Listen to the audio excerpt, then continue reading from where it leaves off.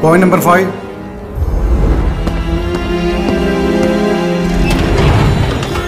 The file was on the Gandhi family Sanjay Gandhi, Indira Ji, and uh, Rajiv Gandhi. Sanjay Gandhi was killed in a plane crash. Indira Ji was assassinated by the Khalistan terrorists, and Rajiv Gandhi was assassinated by a suicide bomb. ഇതൊക്കെയാണ് നമുക്കറിയാവുന്ന facts